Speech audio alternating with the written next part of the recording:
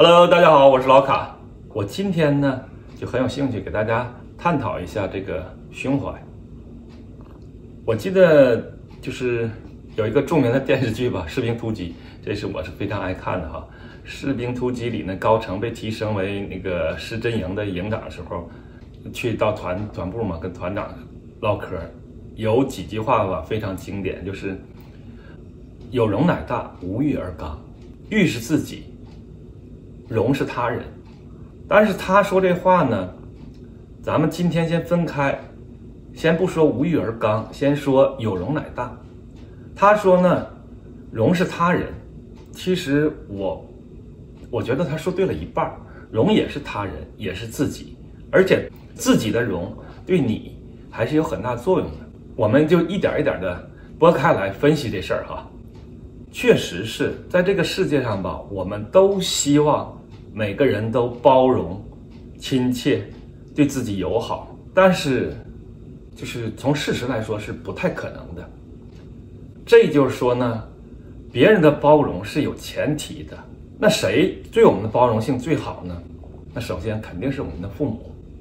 父母对孩子的包容是无条件的，甚至可以去用生命、整个生命去包容，也就是以命换命。如果可能的话，我们今天说的包容不是说好坏，只是说包容。包容可能变成溺爱，但是也可能变成一个大爱，支持他继续前行。那再次呢？那就是我们。就是直系亲属啊，这个旁系亲属啊，这些所有的亲朋好友，包括你的同学朋友，因为对你有更加的了解，他们呢会多多少少的对你有些包容，有些扶持，有些支持。在生活中，其实我们几乎都是平等的。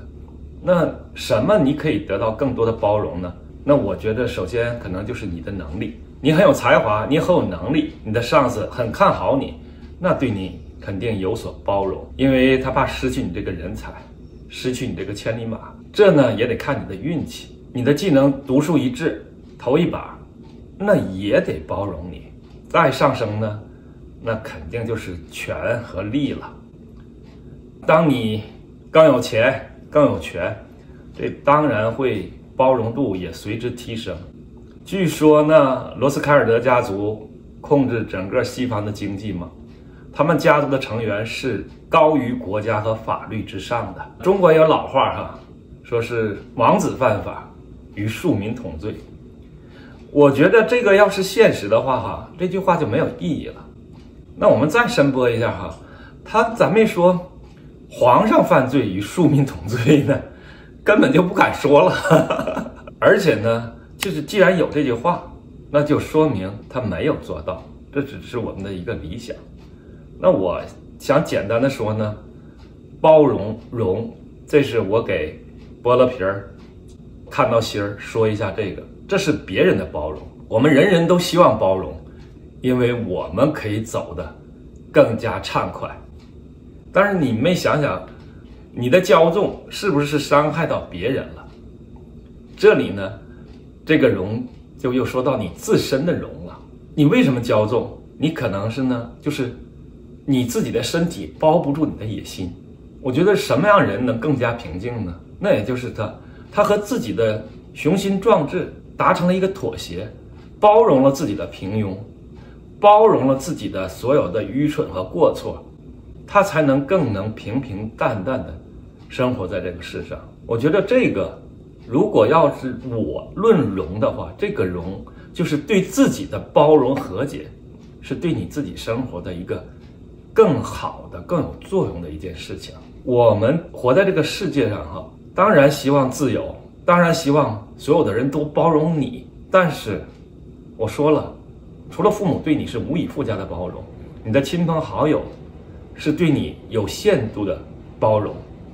如果你有一定才干，你的领导、同事才对你有了一定容忍度，那剩下的当然就是靠你自己创造的能力啊、权利啊、金钱呢，可能。但是这个呢，我觉得也没什么意思。如果你失去了，你这个包容度马上就下来了。但是真正能让你过平静生活的，是自己对自己的包容。当你包容了自己，你才能包容这个世界，才能对这个世界更加宽厚仁慈的去看待。这个我觉得这才是重中之重，并不是说容是他人，他人给你的容到哪儿都是有限度的。你自己和你自己的和解，才是你走向新的生活、走向更高发展的一个，我觉得一个心理的积淀吧。这个是我今天想说的一个很重要的话题吧，就是每个人要包容自己的平庸，包容自己曾经干的蠢事儿，包容自己过去的过错，要在包容自己的前提下。去发展自己，而不是给自己的心理造成巨大的压力而举步无前。今天我就简短的跟大家说一下我对容的理解。这个有容乃大，是别人对你的容，还有自己对自己的容，这两个都大了，你才能更加畅快的活在这个世界上。我是老卡，谢谢大家，再见。